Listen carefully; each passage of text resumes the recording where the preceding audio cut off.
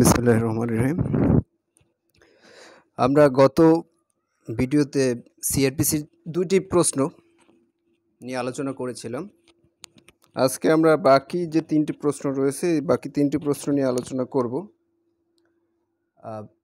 আমরা inherent power of the criminal court এবং তদন্ত, আজকে আলোচনা করার বিষয় তদন্ত inherent power of the criminal code এছাড়া আমাদের ট্রান্সফার আর আমরা বেইল তো অলরেডি বিগত ভিডিওতে আমরা বলেছি। সিআর কেস এবং জিআর কেস আজকের আলোচনার বিষয়। তাহলে আজকে আমরা আলোচনা করতে যাচ্ছি সিআর কেস জিআর কেস এবং inherent power of the criminal court এবং তদন্ত বা ইনভেস্টিগেশন এবং এর সাথে transfer of the criminal case একটা ফৌজদারি মোকদ্দমা কীভাবে ট্রান্সফার করতে হয় এই বিষয়ে আমরা আলোচনা করব। তা মূলত ফৌজদারি কার্যবিধি একটা বড় সাবজেক্ট, এখানে পাঁচশো পঁয়ষট্টিটা ধারা। যে এ বিষয়ে আলোচনা করার জন্য অনেক সময়ের প্রয়োজন। তা আমরা সংক্ষিপ্তভাবে জাস্ট আলোচনা করতেছি। যেহেতু উদ্দেশ্য আমাদের একটাই, বার কাউন্সিলে পাস, এমসিকিউ পাস বা রিটার্ন পাস অথবা বাইবাতে উত্তীর্ণ হওয়া, এটাই আমাদের উদ্দেশ্য। পরবর্তীতে আমরা যখন আইন শিখব আরও ভালোভাবে, এখন যেহেতু পাশ করাই উদ্দেশ্য, তাই ওইভাবেই আমরা ভিডিওগুলো তৈরি করতেছি। একটি মোকদ্দমা ট্রান্সফার বিষয়ে আলোচনা হচ্ছে যে এই, যে আমরা কেন ট্রান্সফারের আবেদনটা করব এই বিষয়ে জানার হচ্ছে এতটুকুই যে যখন একটি আদালতে আপনার ফৌজদারি মোকদ্দমাটি করা হয়, ফৌজদারি মামলাটি, তখন যখন আপনি নিশ্চিত নয় যে এখান থেকে আপনি সুবিচার পাবেন, অর্থাৎ বিচারক বায়াস হয়ে গিয়েছেন অন্য পক্ষের প্রতি দুর্বল হয়ে গিয়েছে অথবা যে কোনোভাবে বুঝতে পারতেছেন আপনি ন্যায় বিচার পাবেন না, তখনই কিন্তু আপনি একটি মামলা ট্রান্সফারের জন্য আবেদন করবেন। আর এই মামলা ট্রান্সফারের বিষয়ে দেওয়ানি কার্যবিধিতেও কিন্তু আলোচনা করা হয়েছে, চব্বিশ ধারায় টোয়েন্টি ফোর বলেন আর ফৌজদারি কার্যবিধিতে পাঁচটি ধারা রয়েছে যেখানে স্থানান্তরের জন্য আবেদন করা যায়। বিশেষ করে আপিল বিভাগে স্থানান্তরের জন্য পাঁচশো পঁচিশের এ ধারা এবং হাইকোর্ট বিভাগে হাইকোর্ট বিভাগ যখন স্থানান্তরে আবেদন বিষয়ে বিবেচনা করেন, এই বিষয়ে পাঁচশো ছাব্বিশের ছয়ের এ উপধারা পর্যন্ত, এক থেকে ছয়ের এ উপধারা পর্যন্ত অত্যন্ত গুরুত্বপূর্ণ এবং পাঁচশো ছাব্বিশের বি এখানে দায়রা আদালত থেকে স্থানান্তরের বিধানগুলো রয়েছে।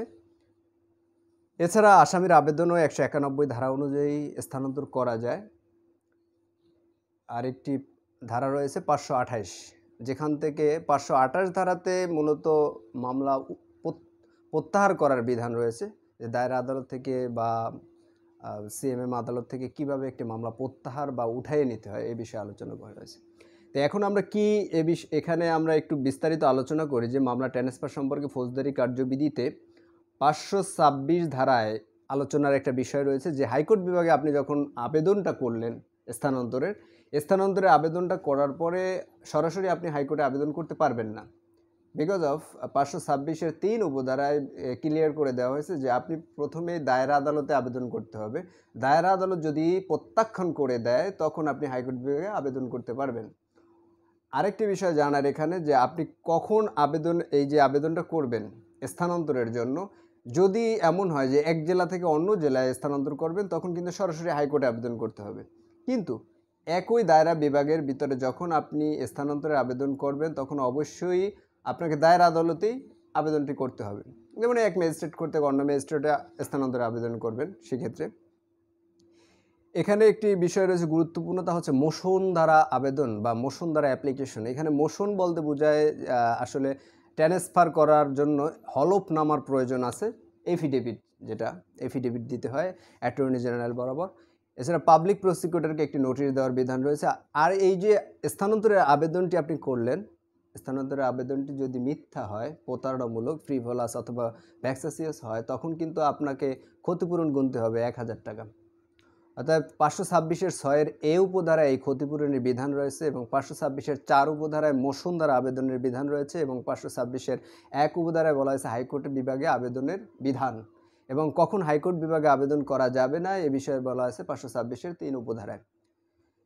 আর পাঁচশো ছাব্বিশ আর পাঁচ উপধারায় বলা হয়েছে পাবলিক প্রসিকিউটরকে নোটিশ দেওয়া হবে। পাঁচশো ছাব্বিশ ধারাটা অত্যন্ত ইম্পর্টেন্ট স্থানান্তরের জন্য এবং পাঁচশো পঁচিশের এ ধারায় আপিল বিভাগে স্থানান্তরের বিধান রয়েছে এবং পাঁচশো ছাব্বিশের এক উপধারায় যেখানে বলা হয়েছে ত্বরান্বিত করার জন্য, অর্থাৎ বিচার প্রক্রিয়া, একটা বিচার প্রক্রিয়া ত্বরান্বিত করার জন্য মূলত স্থানান্তরের আবেদন করা হয় পাঁচশো ছাব্বিশের এক উপধারায় বিধান রয়েছে।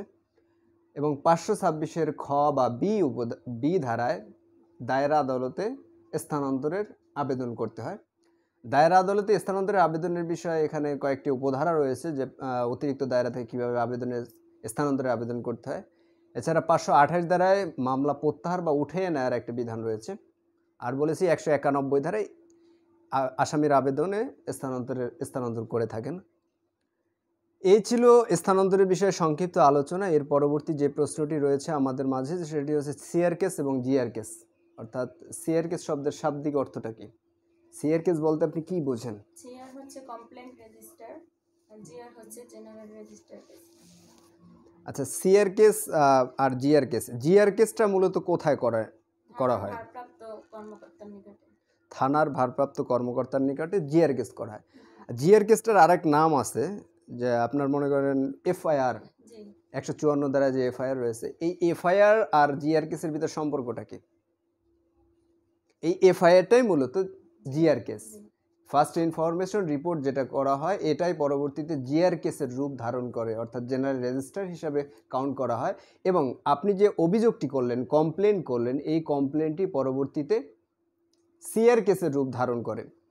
এই হচ্ছে জিআর কেসের সিআর কেসের ভিতর প্রধান ডিফারেন্স পার্থক্য। এছাড়া আপনি আর কি কি এই যে পার্থক্যগুলো একটু কাইন্ডলি বলেন যে কি কি পার্থক্য রয়েছে সিআর কেস এবং জিআর কেসের ভিতরে? জিআর কেসে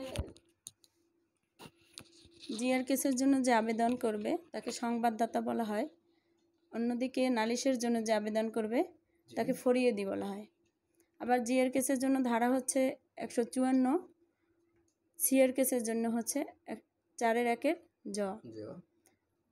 জিআর কেসের জন্য শপথ বাক্য পাঠের কোনো প্রয়োজন নেই। সিআর কেসের জন্য শপথ বাক্য পাঠ করতে হয়। জিআর কেস হচ্ছে মানে এটা একটা থানার ভারপ্রাপ্ত কর্মকর্তা যখন দেখে যে আসামি নির্দোষ তখন অব্যাহতি পেতে পারে। অব্যাহতি পেতে পারে। এছাড়া আমলযোগ্য এবং আমল অযোগ্য হ্যাঁ, জি- আমলযোগ্যর ক্ষেত্রে জিআর কেস হয়। হ্যাঁ। আর আমল অযোগ্য আমলযোগ্য দুইটার দুটো ক্ষেত্রে সিআর সিআর কেস হয়। এছাড়া জিআর কেসের ক্ষেত্রে সাধারণত তদন্ত করার জন্য ম্যাজিস্ট্রেটের অনুমতির প্রয়োজন নেই। হ্যাঁ। আর সিআর কেসের ক্ষেত্রে ম্যাজিস্ট্রেটের অনুমতির প্রয়োজন রয়েছে। এছাড়া আর কি পার্থক্য রয়েছে? জিআর কেস সিআর কেসের? আপনি ধারাগত আলোচনা করলেন তারপরে বললেন যে জিআর কেস সিআর কেস আমলযোগ্য আমল অযোগ্য দুই ক্ষেত্রে এই ব্যবহার করা যায় সিআর কেস। কিন্তু জিআর কেসের ক্ষেত্রে জিআর কেস সিআর কেস সম্পর্কে এছাড়া আপনি আর একটি কেস রয়েছে নন জিআর কেস। এখানে আমরা আলোচনা করতেছি জেনারেল রেজিস্টার এবং কমপ্লেন রেজিস্টার সম্পর্কে। প্রধান, এখানে অনেকগুলোই পার্থক্য বলা যেতে পারে, ধারাগত পার্থক্য, বৈশিষ্ট্যগত পার্থক্য, এছাড়া প্রধান বিষয় হচ্ছে এইটাই যে জিআর কেস মানেই হচ্ছে থানায় যে আবেদনটি করবেন, থানায় যে অভিযোগটা দাঁড় করাবেন, এটাই হচ্ছে জিআর কেস। এবং এই অভিযোগটা একই অভিযোগ যদি আপনি কোর্টে গিয়ে করেন, তাহলে এটি হবে সিআর কেস। এছাড়াও পুলিশ এবং ম্যাজিস্ট্রেটের নিয়ন্ত্রণাধীন যে ম্যাজিস্ট্রেট এবং পুলিশ সরাসরি যে মোকদ্দমাটি আমলে নেয় মামলাটি সেটি হচ্ছে নন জিআর কেস। এই ছিল জিআর কেস সিআর কেস এবং নন জিআর কেস। এখানে জিআর কেস সিআর কেস আলোচনা করতে হলে অবশ্যই ধারাগত বিষয়গুলো এফআইআরকে জানতে হবে একশো চুয়ান্ন ধারা এবং সিআর কেসের ক্ষেত্রে চারের এর জ। এখানে সংজ্ঞা রয়েছে সিআর কেস সম্পর্কে এই অভিযোগ সম্পর্কে। এখানে জিআর কেসের ক্ষেত্রে সংবাদদাতা বা জিআর কেসের ক্ষেত্রে যে এই এফআইআরটি করেন তাকে বলা হয় সংবাদদাতা বা অভিযোগকারী। আর সিআর কেসের ক্ষেত্রে বলা হয় ফরিয়াদি বা নালিশকারী। এই ছিল জিআর কেসের চেয়ার কেসের ভিতরে পার্থক্যগুলো। এছাড়া আমরা আরেকটি প্রশ্ন নিয়ে আলোচনা করব। প্রশ্নটি হচ্ছে তদন্ত। বিগত ভিডিওতে আমরা তদন্ত সম্পর্কে জাস্ট বলেছিলাম যে একশো তেহাত্তর দ্বারা অনেক ইম্পর্টেন্ট। মূলত এখানে একশো ছাপ্পান্ন ধারা থেকে একশো চুয়ান্ন ধারা এফআইআর সম্পর্কে আলোচনা করা হয়েছে। এফআইআরটি আমলে নেওয়া হয় এফআইআর করা হয় কত নম্বর বিপি ফর্মে? সাতাশ নং বিপি ফর্মে এফআইআর করা হয়। এই এফআইআরটি ফার্স্ট ইনফরমেশন রিপোর্টটি আমলে নেওয়া হয় একশো ছাপ্পান্ন ধারায় এবং জিডি জেনারেল ডায়েরি এটি আমলে নেওয়া হয় একশো পঞ্চান্নর দুই উপধারায় এবং সরজমিনে তদন্তের কোনো প্রয়োজন নেই, এটা একশো সাতান্ন ধারায়। এই যে ধারাগুলো, এখান থেকেই শুরু হবে তদন্তের কার্যক্রম। তদন্ত তখন থেকেই শুরু হয় যখন এফআইআরটি অ্যাকসেপ্ট করে নেওয়া হয়।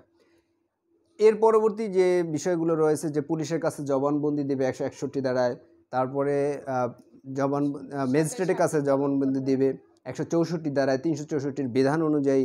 এছাড়া সাক্ষ্য আইনের চব্বিশ থেকে তিরিশ পর্যন্ত এই জবানবন্দি দেওয়ার বিষয়ে বলা হয়েছে। এছাড়া সবচেয়ে ইম্পর্টেন্ট যে ধারাটি একশো সাতষট্টি ধারায় যেখানে বলা হয়েছে যে আপনার রিমান্ড এটাই হচ্ছে তদন্তের একটি ধাপ, অন্যতম একটি ধাপ যে রিমান্ড। রিমান্ডে প্রধানত যে কাজটি করা হয় সেটা হচ্ছে যে আপনার কাছে বিভিন্ন কোশ্চেন করা হয়। এই কোশ্চেনগুলোর উত্তরগুলো, এই জন্যই কোশ্চেনগুলো করা হয় যাতে তদন্তটা সঠিকভাবে করতে পারে। আপনার কাছ থেকে এমন কিছু ইনফরমেশন পুলিশ নিয়ে থাকেন যে ইনফরমেশনগুলো তদন্তে বা পুলিশ ডায়েরিতে লিপিবদ্ধ করে থাকেন। এই পুলিশ ডায়েরি সম্পর্কে একশো বাহাত্তর দ্বারায় বিস্তারিত আলোচনা করা হয়েছে। পুলিশ ডায়েরি কাকে বলে? পুলিশ ডায়েরি কখন থেকে স্টার্ট হয় একজন পুলিশের কার্যক্রম লিপিবদ্ধ করে রাখা হয় যাহার ভিতরে তাই হচ্ছে পুলিশ ডায়েরি। একশো চুয়াত্তর দ্বারায় বলা আছে যখন একটি ঘটনা মানে একটি মৃত্যু হয় অনাকাঙ্ক্ষিতভাবে যেমন তখন কিন্তু সুরতহাল রিপোর্টের প্রয়োজন হয় বা ময়না তদন্ত রিপোর্ট তৈরি হয়। আপনি বলতে পারেন ময়না তদন্ত রিপোর্টটা কত ধারায় সাবমিট করা হয়? পাঁচশো নয় ধারায় ফৌজদারি কার্যবিধির পাঁচশো নয় ধারায় ময়নাতদন্তের রিপোর্টের বিধান রয়েছে। এবং একশো চুয়াত্তর ধারায় ইনকোয়েস্ট রিপোর্ট এবং পোস্টমর্টেম রিপোর্ট এই বিষয়ে আলোচনা করা হয়েছে। পোস্টমর্টেম রিপোর্ট এবং ইনকোয়েস্ট রিপোর্ট সুরত হাল এবং ময়নাতদন্ত কিন্তু তদন্তের একটি অন্যতম একটা বিষয়, যেখানে আরেকটি বিষয় আমরা একশো তেহাত্তর দ্বারায় বলেছিলাম বিগত ভিডিওতে, যেটা হচ্ছে যে চার্জশিট এবং ফাইনাল রিপোর্ট চার্জশিট কাকে বলে? চার্জশিট কী? চাষি হচ্ছে মানে যখন আসামি বিচার করার পরে তদন্ত করার পরে যখন নির্দোষ এখানে চার্জশিট বলতে বোঝানো হয় যে যখন সাক্ষ্য প্রমাণের পরে পরবর্তীতে আসামিকে দোষী প্রমাণিত করা হয় মানে সাক্ষ্য প্রমাণ বা তদন্ত কার্য শেষে যখন ইনভেস্টিগেটিং অফিসার যখন একটি রিপোর্ট প্রদান করেন যে এই আসামি বিরুদ্ধে যে অভিযোগটি দাঁড়ান করানো হলো এটি মানে প্রাথমিক পর্যায়ে প্রাইমে ফেসিতে তাকে দোষী না। এখানে মূলত পুলিশ যে অভিযোগটা দেয়, আসামির বিপক্ষে চলে যায়। আসামি এখানে নারাজি দেয়। এটাই হচ্ছে মূলত চার্জশিট এবং আসামির পক্ষে যে রিপোর্টটা প্রদান করা হয়, এটাই হচ্ছে ফাইনাল রিপোর্ট। এই ফাইনাল রিপোর্ট এবং চার্জশিট সম্পর্কে একশো তেহাত্তর দ্বারায় বিস্তারিত আলোচনা করা হয়েছে। এছাড়াও আরও কয়েকটি রিপোর্ট রয়েছে, সাপ্লিমেন্টারি চার্জশিট এবং ফার্দার ইনভেস্টিগেশন। পরবর্তীতে কবর থেকে লাশ উত্তোলনের বিষয়টি আমরা কিন্তু তদন্তের ভিতরে নিয়ে আসতে পারি। এটিও তদন্তের একটি ধাপ বলা যেতে পারে, একশো ছিয়াত্তর ধারার এক উপধারা এবং দুই উপধারা। তাহলে আমরা কি পেলাম যে একশো চুয়ান্ন ধারা থেকে একশো ছিয়াত্তর ধারা পর্যন্ত সকল বিষয়গুলোই মূলত তদন্তের ভিতরে অন্তর্ভুক্ত। আর আমরা আলোচনা করেছি সিআরকে, জিআরকেস আর হচ্ছে ট্রান্সফার। এই ছিল আজকের আলোচনা। সবাইকে ধন্যবাদ আমাদের পাশে থাকার জন্য এবং মাথায় রাখবেন থিঙ্ক ল ছিল আর ধৈর্য সহকারে ভিডিওগুলো দেখবেন। আইনের বিষয় মূলত আসলে তেমন মজার কিছুই নেই। এখানে ভিউয়ার্স পাওয়া মুশকিল। তারপরে সবাইকে আমি, আমার রিকোয়েস্ট যে ভিডিওগুলো মূলত শুধু একদিনের জন্য নয়, পরবর্তীতে আপনাদের কাজে আসবে। প্রাথমিক যে ধারণাগুলো রয়েছে, সেই ধারণাগুলো মূলত আমরা দিয়ে থাকি। তারপরে চেষ্টা করব আরও সুন্দরভাবে আপনাদের সামনে উপস্থাপন করার জন্য। আর সবার কাছে একটাই বিনতি যে আপনারা অবশ্যই যারা এখনও সাবস্ক্রাইব করেননি, অবশ্যই সাবস্ক্রাইব করবেন। ধন্যবাদ সবাইকে চ্যানেলটির পাশে থাকার জন্য এবং পরবর্তী ভিডিও দেখার জন্য পরবর্তী ভিডিও রয়েছে আমাদের পেনাল কোড থেকে। আল্লাহ হাফেজ।